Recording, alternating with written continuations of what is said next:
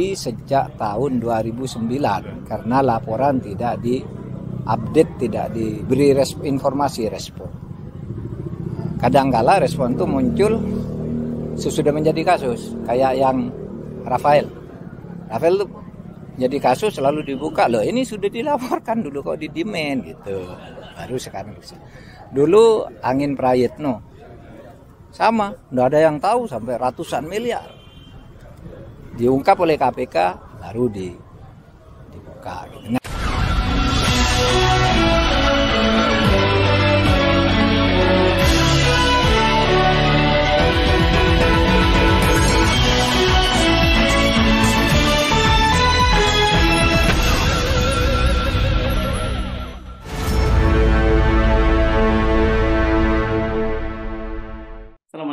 warahmatullahi wabarakatuh. Kembali berjumpa dengan saya Hersman Arif dari Forum News Network.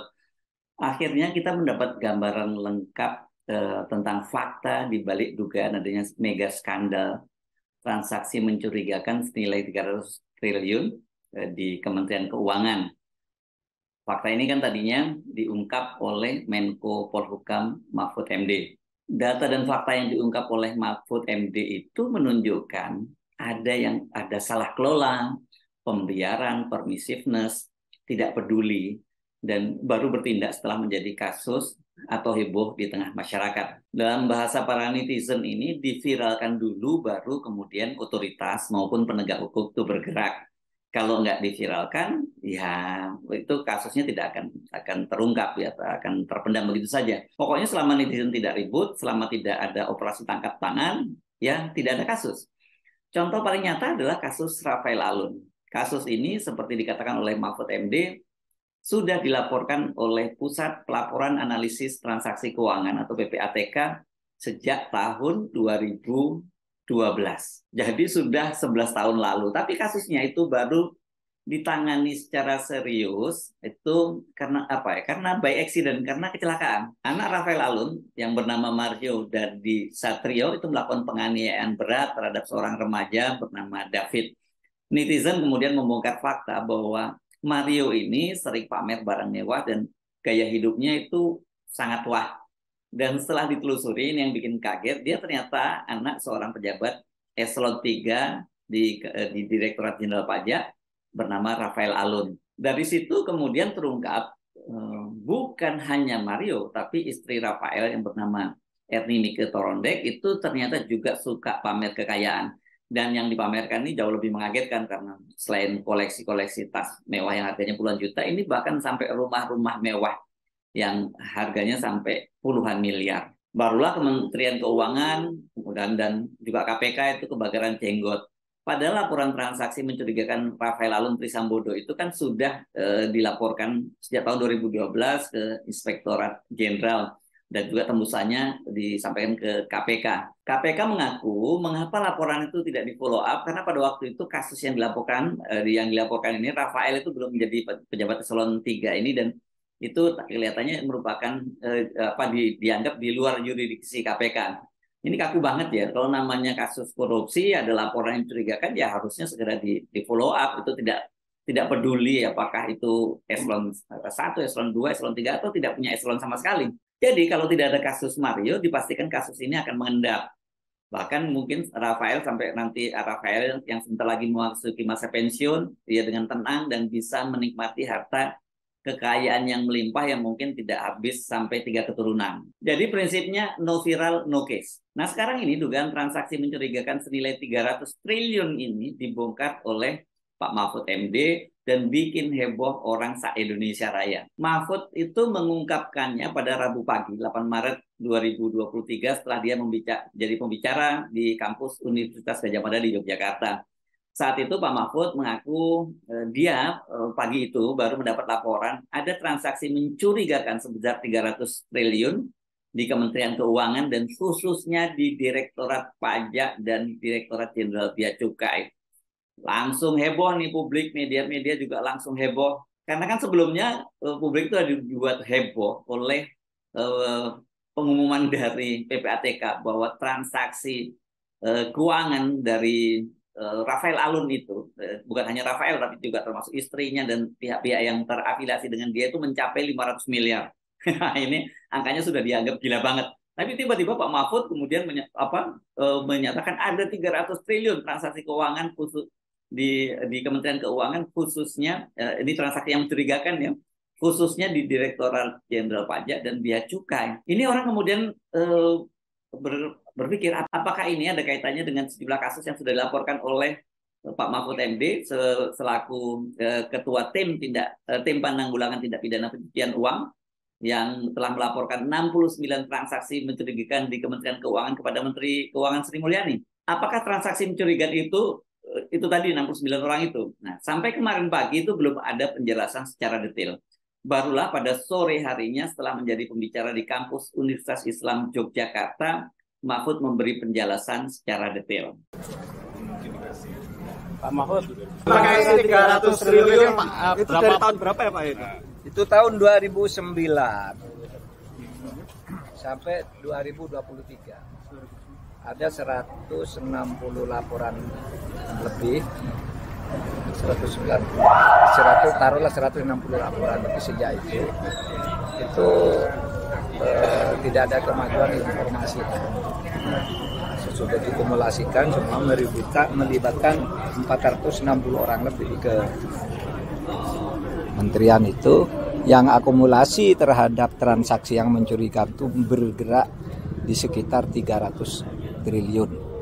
Tapi sejak tahun 2009 karena laporan tidak di update tidak diberi informasi respon kadangkala respon itu muncul sesudah menjadi kasus kayak yang Rafael. Rafael itu jadi kasus selalu dibuka loh ini sudah dilaporkan dulu kok di demand gitu. Baru sekarang bisa. Dulu angin Prayitno sama nggak ada yang tahu sampai ratusan miliar.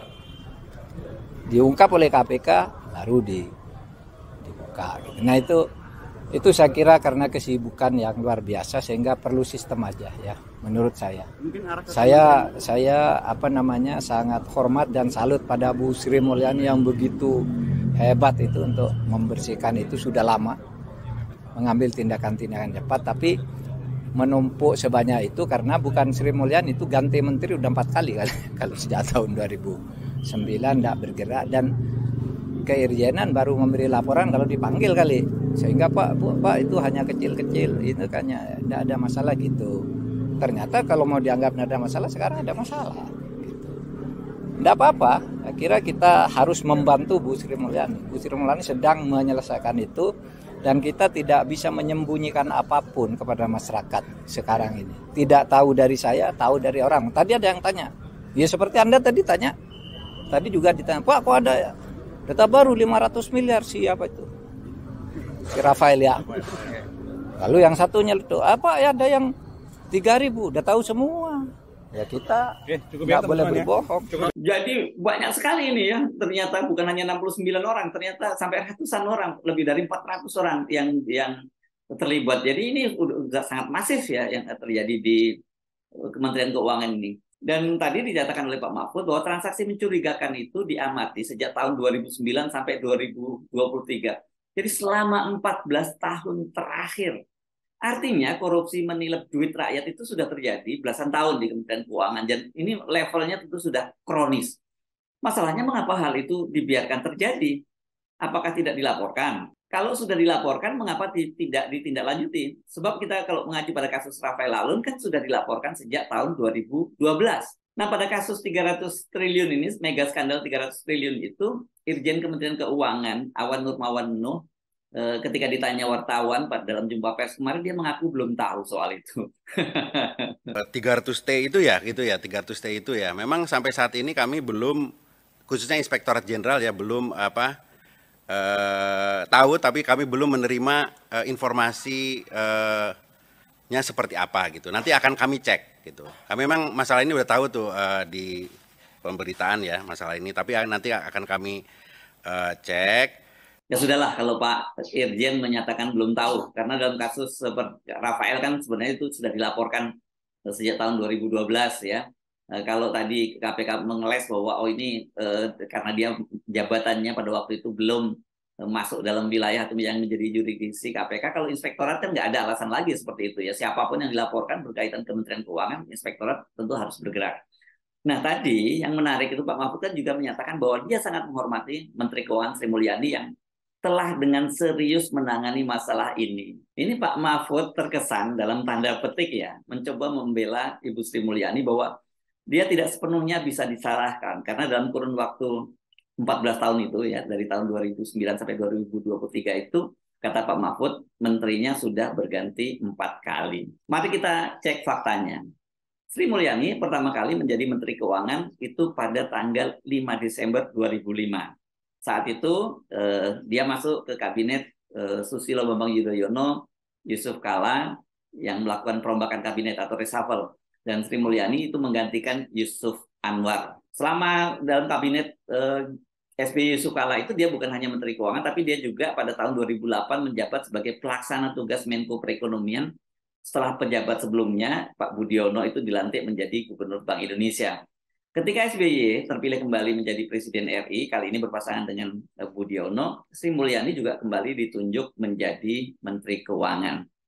Namun karena ada huru-hara politik, ada konflik politik tingkat tinggi, akhirnya Sri Mulyani itu eh, dipaksa mengundurkan diri ya pada tanggal 5 Mei 2010 dan dia kemudian pindah ke Eh, Washington, Amerika Serikat menjadi direktur pelaksana Bank Dunia. Waktu itu banyak menyebut Sri Mulyani itu diselamatkan oleh Bank Dunia. Kepergian Sri Mulyani ini juga pada waktu itu eh, di latar belakangi adanya skandal eh, di Bank Senturi juga ya dan pada waktu itu banyak yang menuntut Sri Mulyani mundur karena dia dianggap bertanggung jawab dalam dalam keputusannya untuk membailout Bank Senturi karena kata dia berdampak sistemik waktu itu ya. Nah, Sri Mulyani ini kembali ke Indonesia ketika dipanggil pulang oleh Presiden Jokowi eh, yang telah terpilih menjadi presiden berpasangan dengan Yusuf Kala dan dia kembali dilantik menjadi Menko sejak tanggal 27 Juli 2016. Sekarang ini Sri Mulyani kembali menjadi Menteri Keuangan ketika dalam eh, kabinet Jokowi kali ini berpasangan dengan Ma'ruf Amin hingga sekarang. Jadi kalau dihitung-hitung, Sri Mulyani itu sudah menjadi Menteri Keuangan selama 12 tahun terakhir kalau tadi eh, kasus tersebut dilaporkan sejak tahun 2009, saat itu Sri Mulyani juga masih menjadi Menteri Keuangan. Dia akan jeda keluar negeri menjadi Direktur Pelaksana Bank Dunia itu antara bulan Juni 2010 sampai bulan Juli 2016. Karena itu bagaimanapun juga tanggung jawab terbesar atas kekacauan dan terjadinya skandal di Kementerian Keuangan, porsi terbesar itu haruslah menjadi tanggung jawab Sri Mulyani dia ya tadi kalau toh Pak Mahfud MD itu menyampaikan pujian kepada Sri Mulyani dan menyatakan hormat pada Sri Mulyani, saya pikir itu ya bahasa-bahasa politik itu diplomat bahasa yang diplomatis atau semacam uh, fatsun politik dari Pak Mahfud MD agar dia tidak terkesan menyerang Sri Mulyani ini karena kalau dalam sesama anggota kabinet saling menyerangkan ini tidak elok gitu apalagi dalam tahun-tahun politik seperti sekarang. Tapi semua itu tadi pembelaan Mahfud MD itu pun tidak tidak bisa e, menegasikan fakta bahwa selama dia memimpin di Kementerian Keuangan itu wah ini Kementerian Keuangan ini kacau balau reno sudah di tingkat katanya ada reformasi birokrasi remunerasinya uh, tetap uh, dijadikan paling tinggi di seluruh kementerian tapi ternyata tetap saja uh, mereka ini masih jadi maling ya masih maling uang rakyat. Kalau yang nggak maling ya mereka mencari peluang dengan merangkap jabatan dengan menjadi eh, komisaris di berbagai BUMN dengan gaji yang sangat besar gitu ya. Dengan dalih ini karena mereka itu kan mereka ini menjadi tanggung jawab mereka mewakili pemerintah sebagai pemegang saham nah jadi eh, berlebihan kalau banyak yang menuntut dalam kasus ini eh, agar Sri Mulyani mengundurkan diri sebagai pertanggungjawaban moralnya karena dia sudah gagal di, eh, sebagai bendahara negara dia membiarkan tikus-tikus berkeliaran di kementeriannya, menggerogoti uang pajak yang dipungut dari rakyat. Dan ya kalau sekarang Ibu Sri Mulyani mundar mandir di berbagai media, di berbagai talk show, menjelaskan soal itu tetap saja tidak bisa menghapus fakta bahwa dia adalah pejabat tinggi di Kementerian Keuangan yang sekarang sedang dilanda skandal mega, uh, triliun ya ini karena 300 triliun rupiah. Saya sebenarnya sampai jumpa lagi. Wassalamualaikum warahmatullahi wabarakatuh.